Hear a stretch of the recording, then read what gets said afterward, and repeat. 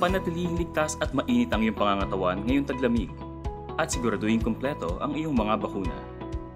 Bilang isang komunidad, tayo ay nagkaisa na sa paglaban sa COVID-19. Ngunit mahalaga pa rin ang iba yung pag-iingat. Ngayong mayroon ng mga bagong doses, mangyaring bumisita sa mga websites ng gobyerno upang malaman kung paano ito makuha.